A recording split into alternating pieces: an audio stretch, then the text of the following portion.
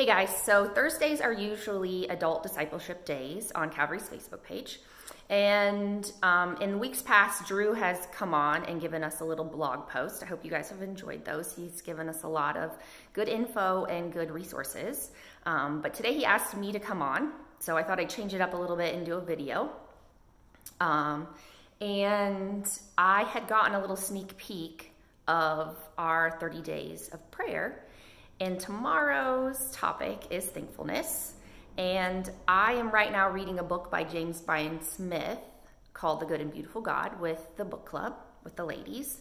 And our soul training for the week happens to be thankfulness. So I feel like maybe God is telling me something um, and working on my heart a little bit through this weird time um, and letting me know how important thankfulness is to my relationship with him. So in James Bryan Smith's book, I'm going to read you a little bit of um, a quote.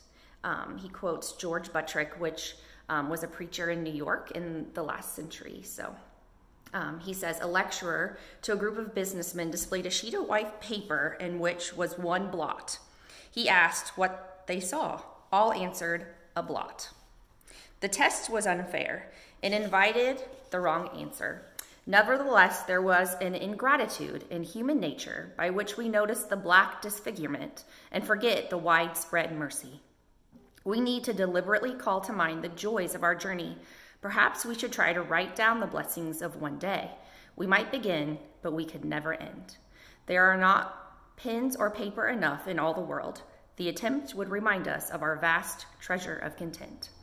And James Bryan Smith goes on to say, Our troubles are real but they are small compared to God's widespread mercy. As Buttrick said, the more we are able to see just how many blessings we have been given, given freely and undeserved, the more we'll be able to see that God is out for our good. And there are so many times in my life where I feel like I am completely focused on that black dot and I miss the widespread mercy.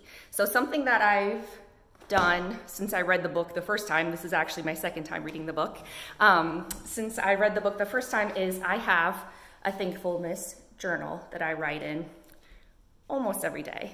And um, I wanted to let you guys know that this is nothing fancy. Like it's one word usually. It's nothing eloquent. Um, it's just what pops into my head to be thankful for that day.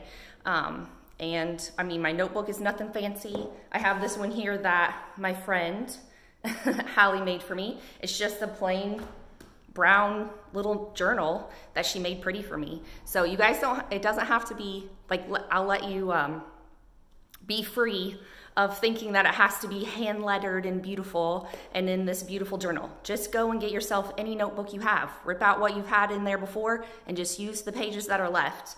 Um, and I guarantee you it will change your focus. It changes my focus from that black dot, from the hard um, that's going on in the life, in my life, from the coronavirus, you guys. So it changes my focus from that to my, my good and beautiful God, my big God who cares so much for me and he cares so much for you too.